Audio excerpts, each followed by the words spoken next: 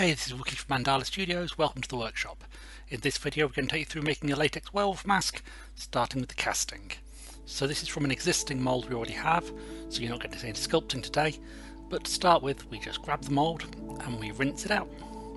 This is to allow any surface air that's trapped in the pores of the plaster to be pushed out by the water, so when the latex dwells in the mould it doesn't get any air balls trapped from the plaster itself. So you tip it out, leave it dry for a few minutes, then just pour in a little bit of latex. And we're going to swirl that around, trying to get it into the teeth, particularly in this mask, and just catching the details. Just roll it around a little bit, catch the surface, and then put it down, nice and level, poke it into the teeth a bit more. Try to make sure we don't get any air bubbles in the tips of the teeth. Spoiler, we did.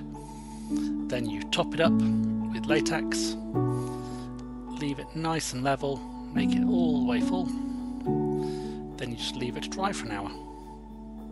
Or dwell for an hour, sorry. Tip it out into the bucket.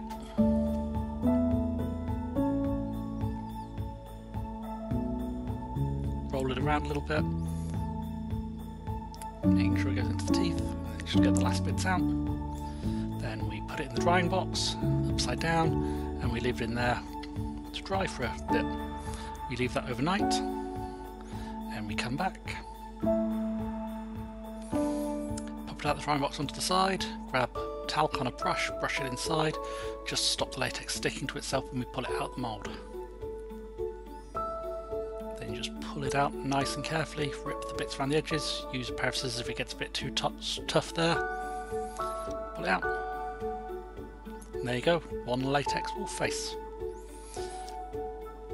Now we're going to mount it onto the mask, the mask onto the balaclava as we do for this type of mask. So first of all you stretch the balaclava you've got over a polystyrene head, making it nice and even all the way around. Then just brush latex into the cotton where the wolf's face is going to sit.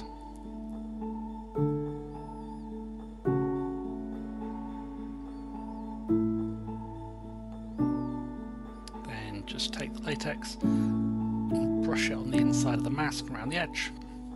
Leave that for a little bit to come touch dry, then half invert the mask, position the eyes and nose and the mouth, then peel the edge back to touch down onto the cotton.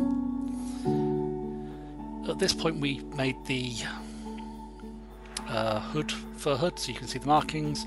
Then we come back and we do the same process again, sticking the ears on where we want them for this mask. We also stuck a tooth repair on.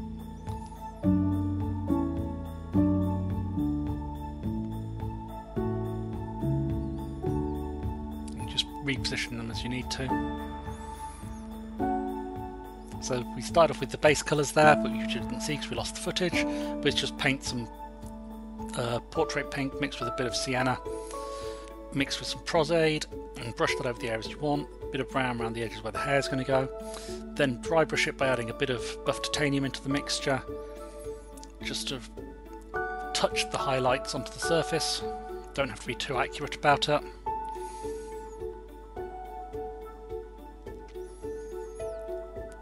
Then we're going to mix up some ink and just paint it over. This is sepia with some alcohol.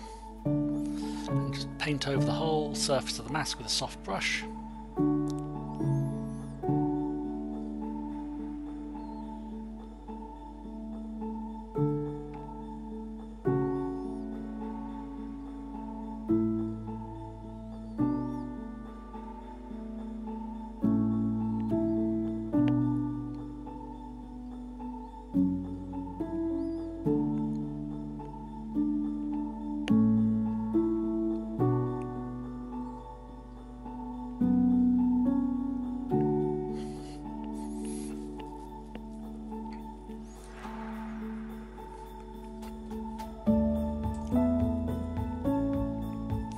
Then once you've brushed over the whole surface, just dab it off with a paper towel. Just rub it as much as you want. Add a little bit of alcohol to the towel if you need to. And that'll just brush it off the top surfaces, then go back into the ears. And repeat the process wherever you need. If you think you've taken too much off, just go back over.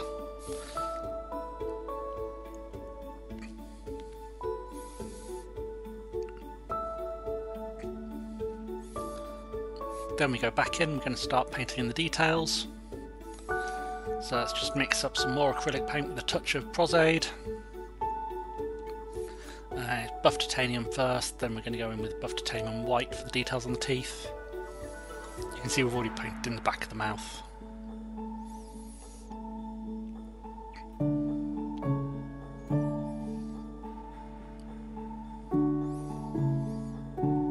And just gently work around. Not much to it really.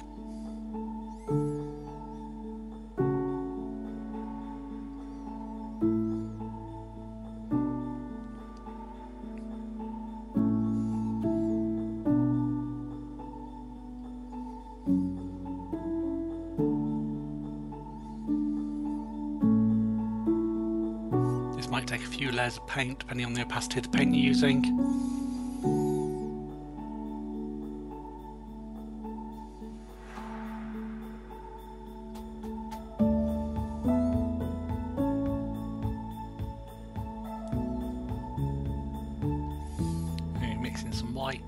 So we get more stark tones on the tips.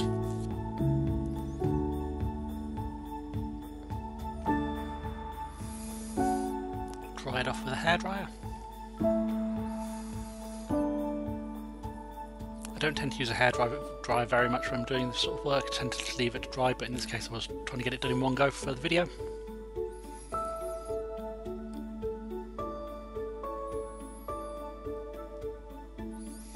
Don't need to be too careful with the edges with this because we're going to go over it with an airbrush again later. We add the Pros-Aide to the paint, makes it flexible and sticky, so it shouldn't crack off. There you go, thanks very much, hope you enjoyed. Bye.